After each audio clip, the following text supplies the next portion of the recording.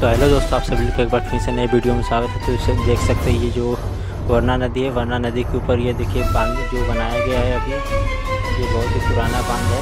और देखिए सामने में जो है, इसका नाम पुराने पुल है, जो वाराणसी में है। और यहाँ पर बहुत देखिए बहुत ही सुंदर गेट बना हुआ है, जो कि बहुत ही सुंदर दिख है।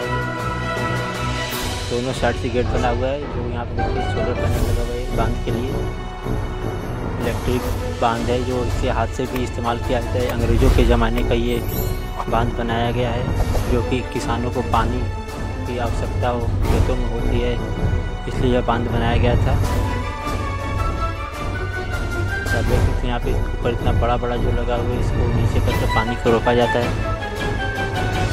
इधर में रेलवे पुल है, और इधर में आप देख सकते एक एक गेट और आ गया, जो सामने की साइड से आता है। तो ऐसे ही वीडियो के लिए चैनल को सब्सक्राइब करें। चलिए देखिए आप इस साइड से देखिए, जिस तरफ़ बाँध को लगाया गया है। देख सकते हैं यहाँ पर नीचे में कितना सारा जलकुंभी जमा हुआ है। इसमें से बस एक फाटक खोला गया है, जो कि आपको उस तरफ़ से हम पूरा वीडियो का व्यू दिखाते हैं। ये ऊपर से देख सकते हैं, यहाँ पर बाँध का पानी इतना ही बहुत ही तेज़ी से जा रहा है, जो कि बहुत ही तेज बहाव है। और सामने से देख सकते हैं कितना जलकुंभी जमा हुआ है। और आपको दिखाएँगे इधर सामने नीचे लेकर। देखिए, बहुत ही पानी का बहुत ही तेज़ी से, जो कि भी बहुत सारा कचरा अटका हुआ है इसमें। चलिए, वीडियो को हम आपको उस तरफ़ से लेकर चलते हैं देखिए, सामने इधर एक बाँध, जो अभी बंद है, बस एक ही बाँध को खोला गया है।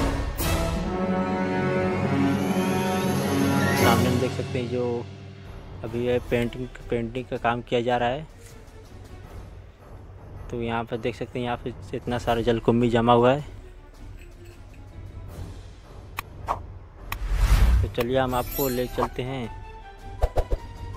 गंगा, और मतलब ब्रिज की उस तरफ़। उस तरफ़ से व्यू दिखाते हैं आपको कैसा है। तो चलिए देखिए, यहाँ पर साइड में भी एक रास्ता बना हुआ है जो कि नदी के किनारे टहलने के लिए सभी लोग को बनाया गया है। जो यह वरना नदी के ऊपर बाँध बनाया गया है बहुत ही पुराना बाँध है। इधर सामने में आप देख सकते हैं, यहाँ पर एक रास्ता बनाया गया जो कि यह आपका चला जाएगा नक्खी घाट की तरफ़, और इधर में देख सकते हैं ये जो अभी यहाँ पे बहुत सारे बकुला है जो, यहाँ पर देखिए, ब्रिज के उस तरफ़ से वीडियो, नीचे में आपको लेके चलते हैं अभी ये देखिए, गेट गेट के ऊपर बहुत ही सुंदर सुंदर कारीगरी की गई है।